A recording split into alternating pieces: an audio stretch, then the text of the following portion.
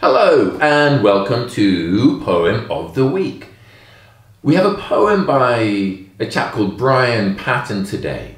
It's quite a thought provoking poem. I'm not going to say too much about it, I'll let you make up your own mind as to what it's about. It's called The Newcomer. There's something new in the river, the fish said as it swam. It's got no scales, no fins, no gills, and ignores the impassable dam. There's something new in the trees. I heard the bloated thrush sing.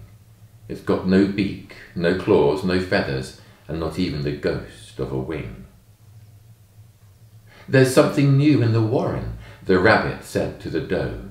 It's got no fur, no eyes, no paws, yet digs deeper than we can go.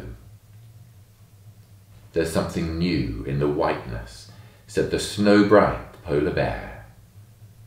I saw its shadow on a glacier, but it left no footprints there. Throughout the animal kingdom, the news was spreading fast.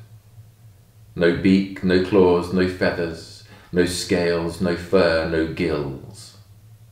It lives in the trees and the water, in the earth and the snow and the hills and it kills, and it kills, and it kills.